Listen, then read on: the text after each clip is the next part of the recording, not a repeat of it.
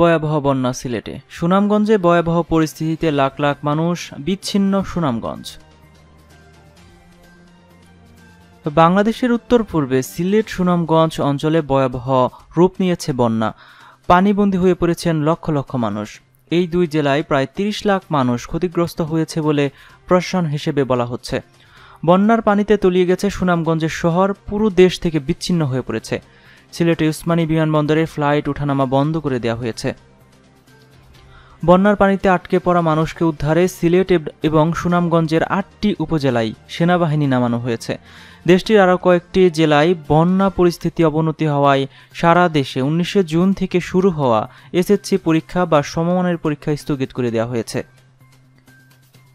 ঘরবাড়ি পানির নিচে, চারপাশে অথই পানিতে নিরাপদ আশ্রয়ে যাওয়ারও উপায় নেই বলছেন স্থানীয় মানুষজন। সুনামগঞ্জের সাতক উপজেলার একটি ইউনিয়নের সাবেক একজন চেয়ারম্যান মুরাদ হোসেন বন্যার পানির কারণে পরিবারসহ তার বাড়ির ছাদে আশ্রয় নিয়েছেন। তিনি বলছেন, পানি নেই, এমন এক ইঞ্চি জায়গাও মিলবে না সুনামগঞ্জ জেলায়। আমাদের এলাকায় প্রতিটা ঘরবাড়ি পানির নিচে, কোনো কোনো ঘরবাড়ির চালের উপর দিয়ে পানি যাচ্ছে। মানুষের একটু আশ্রয় নেওয়ার জায়গাও নেই। মানুষকে দ্রুত উদ্ধার করা না হলে লাশের মিছিল দেখা যাবে, মন্তব্য করেন মুরাদ হোসেন। তিনি পরিস্থিতি বর্ণনা দিতে গিয়ে বলেছেন, গবাদি পশু, হাঁস, মুরগি সব পানিতে ভেসে যাচ্ছে। সুনামগঞ্জের দুটি বিদ্যুৎ উপকেন্দ্র পানিতে তলিয়ে যাওয়ায় পুরো জেলায় বিদ্যুৎ সরবরাহ বন্ধ রাখা হয়েছে। মোবাইল নেটওয়ার্কও কাজ করছে না। অন্যদিকে সুনামগঞ্জ শহর পানিতে ডুবে বিচ্ছিন্ন হয়ে পড়েছে পুরো দেশ থেকে। সেখানকার জেলা প্রশাসক মোহাম্মদ জাহাঙ্গীর হোসেন বলেছেন, আটকে পড়া মানুষকে উদ্ধারের বিষয়কে এখন তারা অগ্র অধিকার দিচ্ছেন। তিনি আরও জানিয়েছেন, ভারতের মেঘালয়ের চেরাপুঞ্জিতে ভারী বর্ষণের কারণে বৃহস্পতিবার রাত রাত থেকে বারো ঘন্টাতেই সুনামগঞ্জে চার ফুট পানি বেড়ে যায়। জেলা শহরের সব স্তরে পানি, কোথাও বুক সমান পানি এবং কোথাও তার চেয়েও বেশি পানি।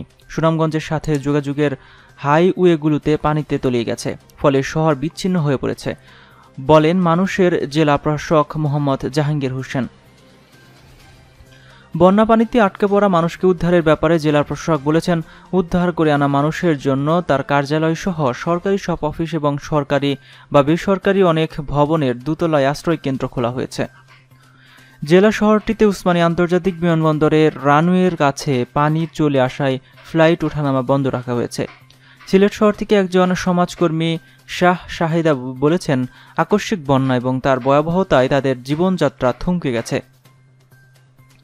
সিলেটের কোম্পানিগঞ্জ উপজেলার প্রত্যন্ত এক গ্রামে পাঁচ সন্তান এবং দিনমজুর স্বামীকে নিয়ে বন্যার পানিতে আটকে পড়েছেন সালমা বেগম। কয়েকদিন ধরে খাবার না থাকলেও তিনি এখন নিরাপদ আশ্রয়ে যেতে পারবেন কিনা সেটাই তার কাছে বড় বিষয় হয়ে দাঁড়িয়েছে। তিনি বলেন, বর্তমানে পানির মধ্যে ভাসতেছি। একেবারে ঘরের চাল পর্যন্ত পানি। এখান থেকে বাঁচতে চাই। কোম্পানিগঞ্জ থেকে একজন সাংবাদিক মোহাম্মদ কবির জানিয়েছেন, বন্যায় যত মানুষ আটকা পড়েছে, তাদের উদ্ধারে পর্যাপ্ত নৌকা নেই। সেজন্য বেশিরভাগ মানুষ আশ্রয় কেন্দ্রে যেতে পারছেন না। রাস্তাঘাট সব জায়গায় এতটাই পানি যে নৌকা ছাড়া অন্য কোনো উপায়ে চলাচল করা সম্ভব নয়। ফলে নিরাপদ জায়গায় যেতে না পেরে অনেক মানুষ ঘরের চালের উপরও আশ্রয় নিয়েছে বলে জানাচ্ছিলেন মোহাম্মদ কবির। সুনামগঞ্জের পাঁচটি এবং সিলেটের তিনটি উপজেলায় সেনাবাহিনীর ছয়শো সদস্য মানুষকে উদ্ধারের কাজ শুরু করেছেন। সুনামগঞ্জে এক মাসের ব্যবধানে দ্বিতীয় দফায় বন্যা হলো। বলা হচ্ছে এবার দ্রুত গতিতে বন্যা ভয়াবহ রূপ নিয়েছে। স্থানীয় প্রশাসনের কর্মকর্তা বলেছেন, বৃহস্পতিবার রাত থেকে বারো ঘন্টাতেই পুরো সুনামগঞ্জ জেলা এবং সিলেটের অনেক এলাকা পানিতে তলিয়ে যায়। বন্যা সতর্কীকরণ কেন্দ্রের কর্মকর্তা আরিফুজ্জামান ভুইয়া জানিয়েছেন, ভারতের মেঘালয়ের চিরিপুঞ্জিতে গত চব্বিশ ঘন্টায় নয়শো বাহাত্তর মিলি, মিলিলিটার বৃষ্টিপাত রেকর্ড করা হয়েছে। একশো বাইশ বছরে এটি সর্বোচ্চ রেকর্ড। মিস্টার বোয়া বলেছেন, মেঘালয়ের চিরিপুঞ্জিতে সেই বৃষ্টির পানি খুব দ্রুত গতিতে সুনামগঞ্জ এবং সিলেট অঞ্চলে নেমে এসেছে। সেজন্য বন্যা অল্প সময়ে সিলেট অঞ্চলে ভয়াবহ রূপ নিয়েছে। মেঘালয়ে ভারী বৃষ্টিপাত অব্যাহত আছে এবং আরও কয়েকদিনে সিলেট, সুনামগঞ্জের বন্যার আরও অবনতি হতে পারে বলে তিনি উল্লেখ করেছেন। তিনি জানিয়েছেন, বৃষ্টি অব্যাহত থাকায় দেশের উত্তরে কুড়িগ্রাম, লালমনিরহাট এবং নীলফামারী সহ কয়েকটি জেলাতেও আগামী কয়েকদিন বন্যা পরিস্থিতির অবনতি হতে পারে।